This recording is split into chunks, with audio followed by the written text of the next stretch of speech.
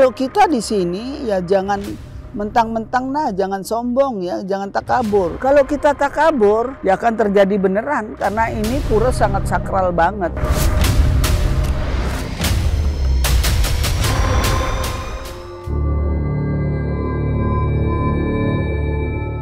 Bali dikenal dengan Pulau Seribu Pura. Banyak pura di Bali sudah berusia ratusan bahkan ribuan tahun. Namun ada juga yang terbilang baru. Salah satunya Pura Campuan Windu Segara. Pura ini dikenal sebagai tempat atau genah melukat atau meruat yang dipercaya untuk membersihkan diri secara rohani. Pura Campuan Windu Segara ini tergolong cukup baru. Pura ini berawal dari kisah seorang pemangku yang bernama Jero Mangku Gede Alit Adniana. Pada saat itu Jero Mangku menderita penyakit ginjal setelah pergi berobat ke mana-mana dan tidak kunjung sembuh, Jero akhirnya pada titik putus asa dan pasrah. Di saat putus asa tersebut, Jero Mangku mendapatkan petunjuk secara niskala, hingga akhirnya beliau menemukan sebatang kayu di pinggir pantai Padanggala. Singkat cerita, beliau akhirnya mendapat pewisik untuk membangun parhayangan Ida Batara di kawasan yang ditemukan kayu tersebut. Beliau menyanggupi dan beliau pun sembuh sedia kala. Di balik cerita Pura Campuan juga menyimpan kisah yang cukup fenomenal dengan keberadaan patung sosok Kanjeng Nyi Roro Kidul dan Raja Prabu Siliwangi. Di area pura itu terdapat ruangan yang berbeda di mana terdapat kedua patung yang diyakini sakral. Menurut cerita yang beredar di masyarakat, Nyi Roro Kidul merupakan putri dari kerajaan Pakuan Pajajaran. Singkat kata, Raja Prabu Siliwangi memiliki banyak anak, salah satunya bernama Putri Kandita yang sangat cantik jelita mewarisi atau memiliki sifat ayahnya yang bijaksana. Pada suatu hari, para selir dan anak-anak Prabu Siliwangi berkumpul untuk menyusun rencana guna menyingkirkan Putri Kandita. Seorang penyihir sakti ilmu hitam pun dilibatkan untuk mengeluarkan Putri Kandita dari istana Pakuan Pajajaran.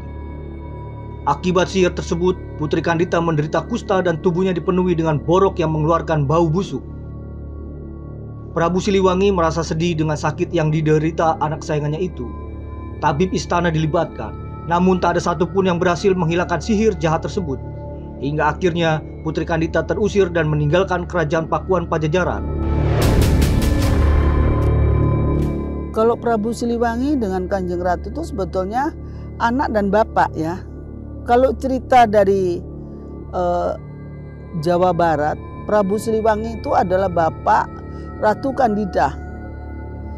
Ratu Kandida itu uh, adalah putri dari Prabu Siliwangi yang dia dibuang menjadi Ratu Amis yang bau sekali badannya ya.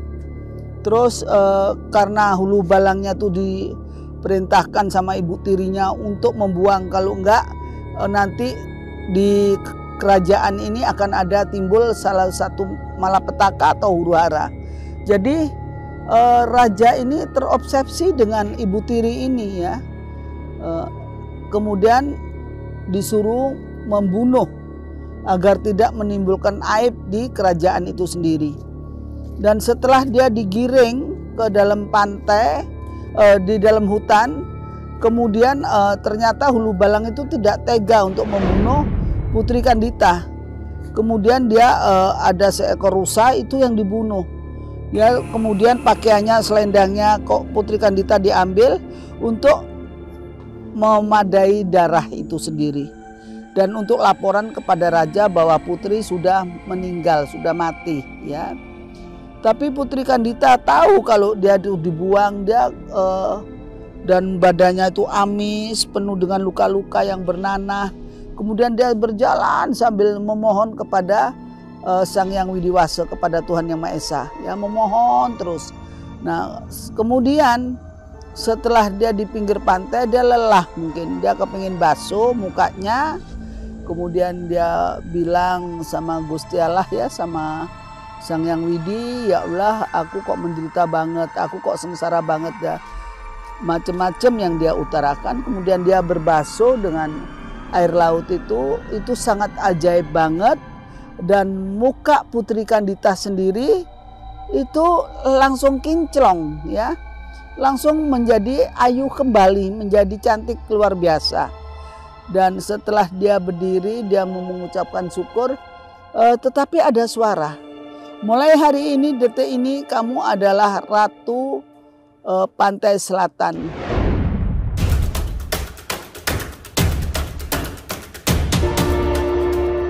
Mengingat Pura Campuan merupakan tempat suci untuk bersembayang, ada sejumlah hal yang perlu diperhatikan dan ditaati ketika berada di area pura.